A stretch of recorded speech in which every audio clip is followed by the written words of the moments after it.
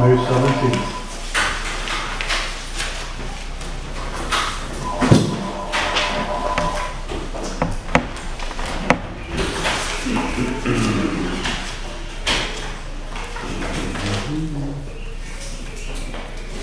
Any questions?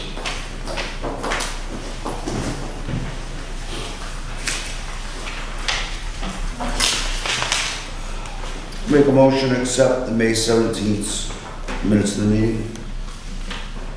Second. All in favor? Aye. Motion passes. Let's bills and communications, we review the warrant of May 2023.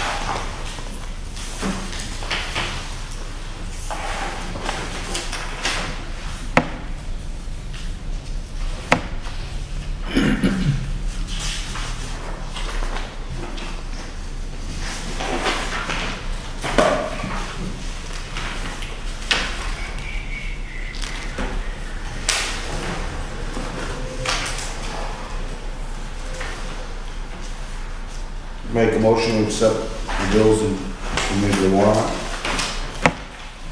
Second. All in favor? Motion passes. Director's report. We can start off with um, vacancies. Uh, My, how many departments are open right now? I know we've had almost 10 Two. we've gone through. So we have two open. Yes. And Yep. then one's, Oh, actually, three. Yeah.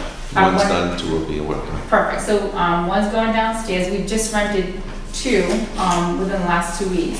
So we have three, and then s- we have a couple more going downstairs, and then we'll have the upstairs one. So probably, hopefully, within the next, we think, two months, we should be all set? Three months? Well, no, because people moving from upstairs to downstairs, so. Yeah, with what's here, the next month should, both of them should be done, and then when the people start moving, that's, it's gonna open up again, so. Yeah, so hopefully by September we'll have everything. Situated. Moving downstairs. Yes, we still have a list of, um, uh, I think three that, are from upstairs that need to come downstairs, so. Okay. And board certified classes, I did get an email last night, I'm gonna send it, forward it to each member about classes. Um, they're really pushing board members to take classes, and us now, I guess, apparently we have to have CEUs, um, so many per class. So for the emails I did receive last night, um, I did notice it this morning, I will forward it to the people that their names are on it, um, from, um, MassNAHRO and Housing for the new name. So if you get an email from me, it's definitely because you have to take some classes. Also, DHCD changed their name. It's no longer DHCD. It's now EOHLC, which is Executive Office of Housing and Livable Communities. Um, we just showed up to work one day and got an email. We had no notice that they were going to change the name. Uh, everybody's kind of just working normally. Uh, I'm not sure what changes will bring. I did put that in your folder. Uh, They changed the name. Um, They still have, um, they have some new um, new secretary. And they, they're saying that all the existing contracts with Department of Housing will remain fully valid uh, once the trans, transition um, to EOHLC is made. This is all we know right now. We're kind of just working um, as is DHCD, but slowly all of our paperwork is changing um, from the DHCD to the EOHLC. So I have no idea what that's gonna bring. I know they did team up with a couple of different agencies. Um, So I guess within the next month or year, With the livable community. uh, we'll see. We'll see what's, you know, what that's gonna bring. Housing authorities, um, I am not sure. Um, So, and, um,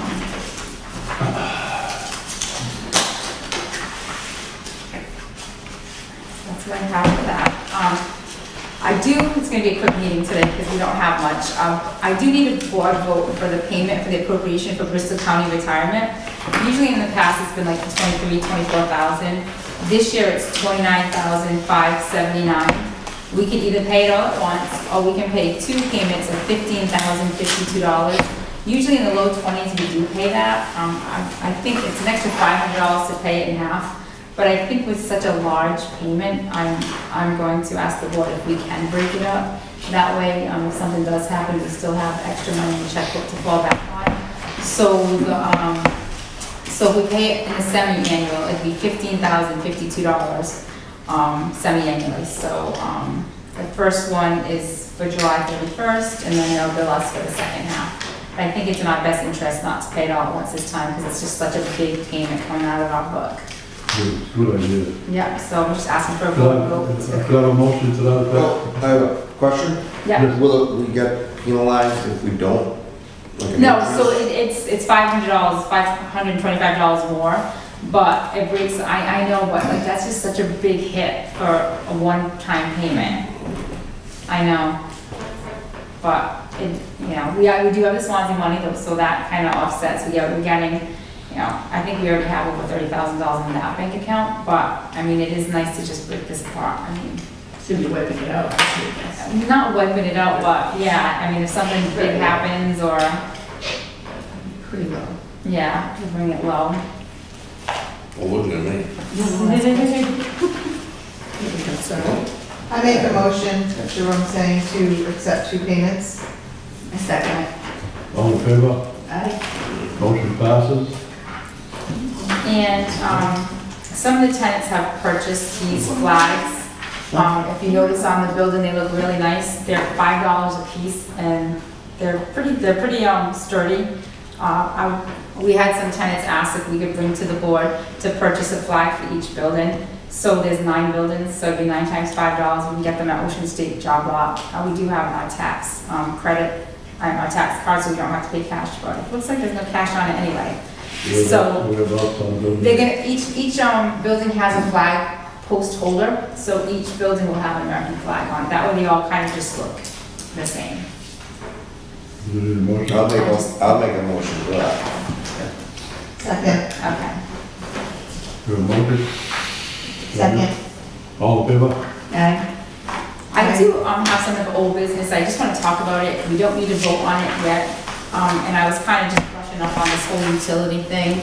Um, honestly, it's, it's, it's probably driving me crazy, I can't even sleep the other night over these thoughts of everything that's going on. So, so we are one of like eighty-some housing authorities in Massachusetts that when they built it, they built, um, they put the meter right in the front of the property.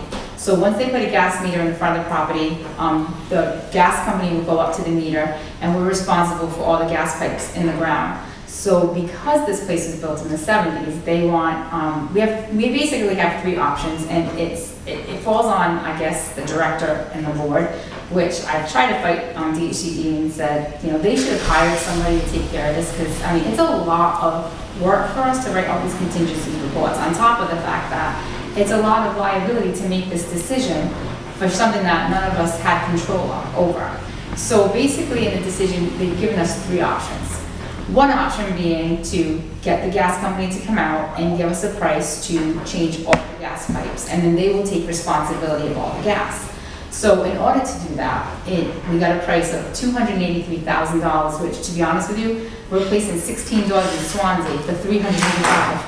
So I thought that that was a pretty good price, so I called Department of Housing and, you know, s- to see if there's funding for having that done. And of course, the state is not funding that project because eventually, by twenty, whatever, twenty thirty something, the state wants to switch over to all electric. So they will not fund that project. So, um, the second choice would be to, and I guess the way it works and the way it was explained to me is, if you have, each unit is heated or has a stove separately, they will cover the heater and the stove. So, so each apartment does have a gas stove, so they will pay for us to change from gas to an electric stove, and they will pay for the stoves. But because our bro- boilers, which are on, it's an on-demand furnace, so it's not The hot water separate. is, the hot water is, yeah. Yeah, so it's, it's one thing that does both the, the, the wa, hot water and the heat. Um, they will not fund that, uh, to change that over to electric because that one unit runs eight different apartments. So, I mean, I kind of was like a smart ass and said, um, well, what if we take the stove and put it in the hallway? Will we be fine? Yes, we would. But, so uh, to, to kind of group this option together. They will pay to change the stoves over, but they won't pay to change the furnaces over. It will, the, it will, um, the Department of Utilities will be fine with that, and we won't have to inspect the pipes, but we're taking responsibility if anything happens, then it falls on us to responsibility saying, don't inspect the pipes, which is a big cost every year to us. So basically, those are our only two options, because the third option would be to change over to all electric, but we can't afford that either, because we don't have all the money to do that. And it's gonna be Um, done anyway in the future. And it's gonna be done in the future. But the thing is, is we can, we're doing a report to see how much electric this place can handle because you would, Mike would know better. I don't think we have enough voltage to take on all the electricity that this place needs. So uh, it's, right now, we're, it's in the process of, we have an engineer coming out and looking at it. I don't know how much it's gonna cost. Well, we get a month of extension to make a contingency plan. We sent this to DHCD three years ago. And now they've given us three months to get all this done. So, I mean, because the Department of Utilities, if we don't, we, we asked for an extension with them. And it's not DHCD, it's the Department of Utilities through the whole country that's making all these places do this. Um, and, I mean, I myself don't understand it. They're saying that doing, switching over to all electric will be savings in the future. I know we're half gas and half electric, on a full month, we paid eight thousand dollars, whereas Swansea with all electric had a fifteen thousand dollar electric bill, because they heat, they do everything with electric over there. So I don't know where the cost savings would come from, I'm not into the whole utility thing, but it's gonna be a big cost to do this. Um, we will take the money if they're gonna change over the stoves, we have no choice.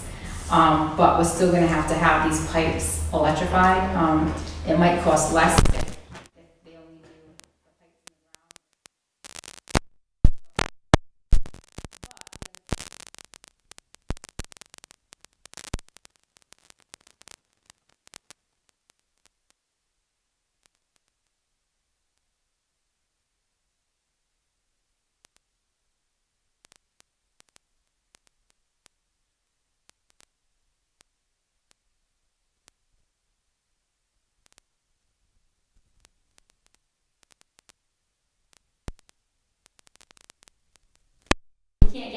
can't afford to do that. That's a big project. Split, right?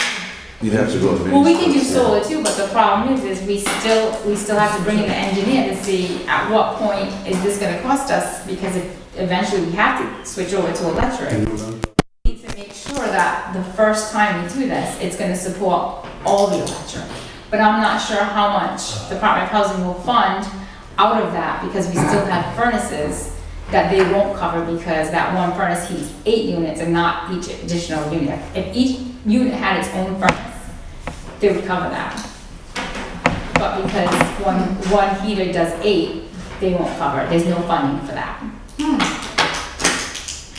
So it's been very frustrating Imagine week. How much that's gonna cost, the energy cost, and gas, Yeah, I mean, we definitely can look into solar, but this, I mean, the Department of Utilities won't find us as long as we have a, a contingency plan in place. Um, they gave us thirty extra days, and we are working with RCAP to put one in place, so, um, I'm not sure where that's gonna go, or, you know, we need to get an engineer, but as long as we have a plan, they're happy with the fact that we really are working on changing it, um, over. How many gas stoves do we have now? Uh, Maybe low fifties, I think, is we, we replaced a few because people come in with oxygen, so we had to replace them. But it's not just putting an electric stove in, we have to replace the fuse panel and everything because there's no outlet there and there's not enough room in these fuse panels and plus they're obsolete anyway. Well, that's In another thing. Right. the have- ARPA money, we just got, op- we got three hundred thousand dollars in ARPA money to change over all these fuse boxes. panels, yeah. So now the panic comes, are we gonna do this and then, is it gonna hold the electric? And if not, why are we gonna spend it and then have to redo it again? So it's, it's just, it's just been a whirlwind. And, and with that, they were sized, they're sized to, the ones we put in, they're gonna put the same, that we have put in, they're gonna put the same ones in, but with that project, they won't run a wire, or they won't, to, to hook up a wood stove, that's gonna be a separate, the state won't fund that in part of that project. Either. No. So, so Yeah. that's, and they won't even put a wire in there, just Well, roll up in no, the cellar. the or state whatever. will fund the project if we switch over to all. Oh, that, that Oh, way, yeah, yeah. yeah. But, and we just asked them if we could do that, so we're, we're up in the air because we just feel like a lot of people don't realize that we, we have this op, we have no choice and this is an option. So we did pull in RCAP, we're working with RCAP, um, honestly, RCAP was, they, they were surprised over the fact that they will pay for the gas stoves, but they won't pay for the furnaces. Um, they thought everything had to, so now RCAP is working with, um, this gentleman that's working with housing to say, no, like, we won't give you money for that, where the, you know, we thought there was money for that, so, I mean, it's, Is a price just for the furnaces? they won't pay for the furnaces or the boilers, they're just, just the stoves, and, and what it takes to get the stoves Have you over. gotten a price of what it would cost to do the rest of it? Nope, we just, well, we know for a fact, um, when we do it, it's about eight hundred dollars per unit for the electrician, for- Yes. about- and Yeah. then the stove is about six Six hundred. hundred. But, I mean, that, that's, that would be no problem, but we don't think, we, the, we don't think these electric boxes can support all that. Right, the transformer out here, if we would've known, I guess, That's a the few one that we years. just did a couple of years The ago. one, yeah, if we would've known this was coming down the pipe, obviously, we would've told them like, you know, size it up to go all electric, you know, everything. But that wasn't even in the plans or thought of at the time.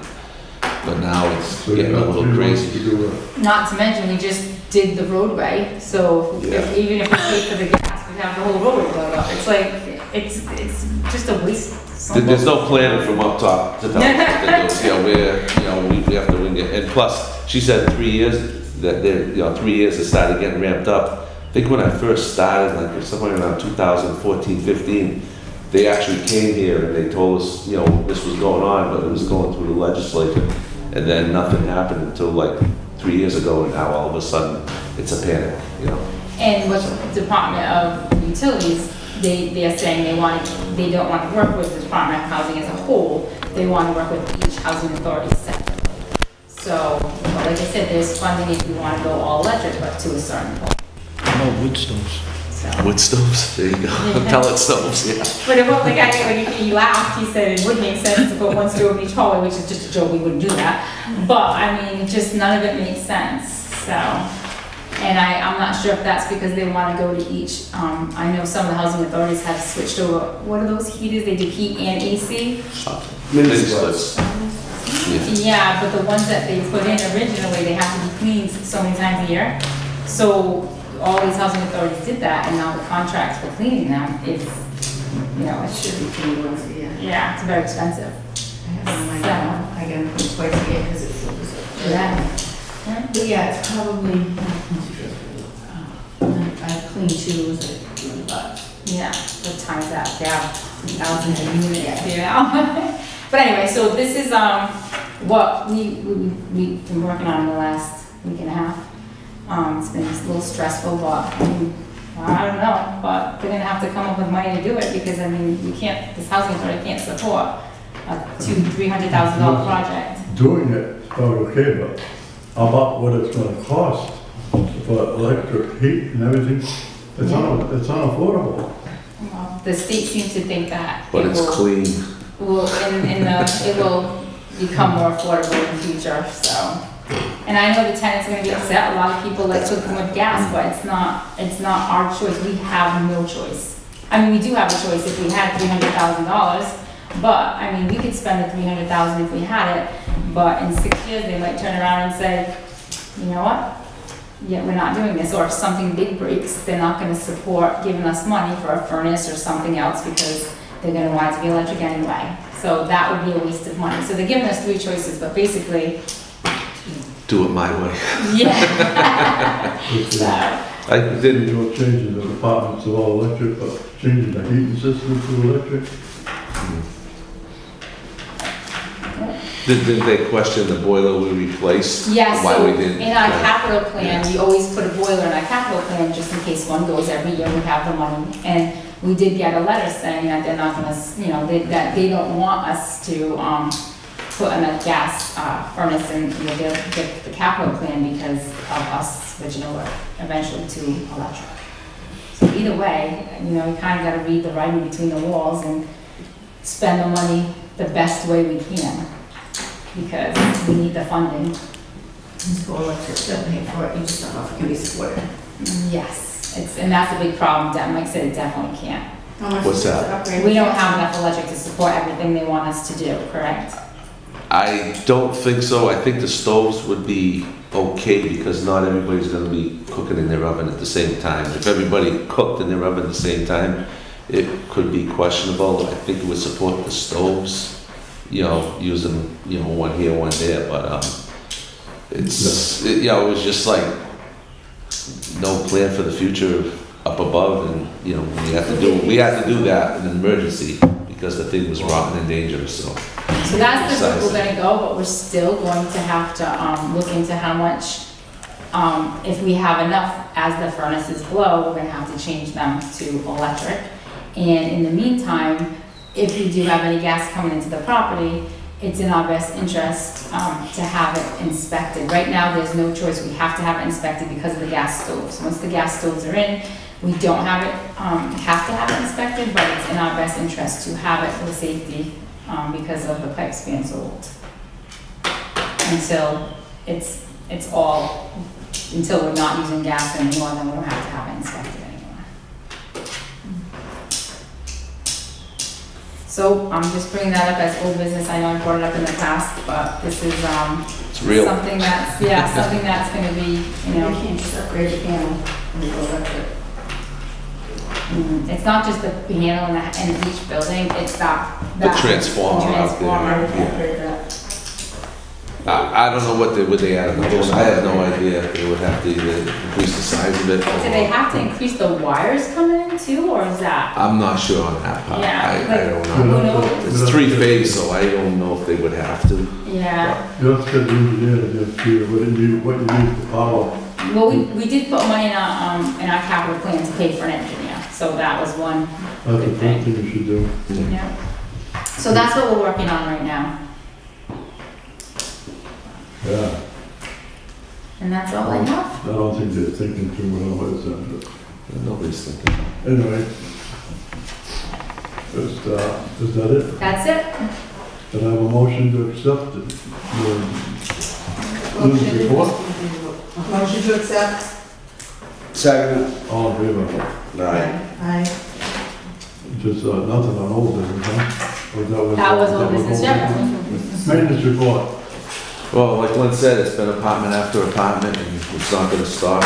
Um, Just routine maintenance, nothing major has been happening here. And at Garfield Street, I guess everything was okay with their inspection, and I gotta get out there and start measuring windows to get that project going. And Place some windows there, but otherwise that, everything seems to be pretty good.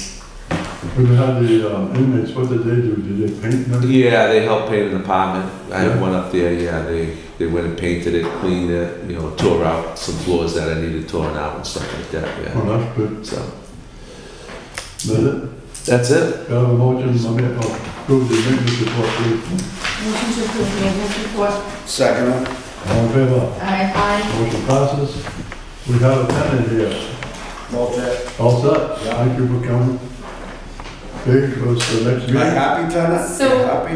Okay. For Um, record. Our next meeting is July nineteenth. Um, I know that in Swansea, they, they don't do July meetings, they take, well, actually, they take July and August off. I don't know if you wanna just say, um, to not have a meeting, because we don't really have that much. The only thing that I would have, if, um, anything comes up, is the electrical project, and if I have to have a meeting, I can notify you guys on the electrical project. That would be the only thing that would come up in July. We have no construction going on, or It's a holiday. anything right now. That's a holiday. that July nineteenth? Yeah, Islamic New Year. Oh, okay. So anyway, so, um, yes, so we might just wanna, um, go for August, the third, the third Wednesday in August, we'll notify them. Do you have the, the date of the third Wednesday in August? I don't know. We'll the board meeting.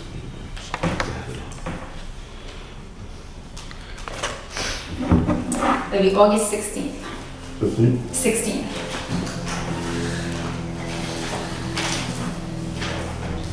Okay. Any Any, any other business? If not, could I could I have a motion to adjourn? Motion to adjourn. Second? All in favor? Aye. Motion passes. We are now adjourned.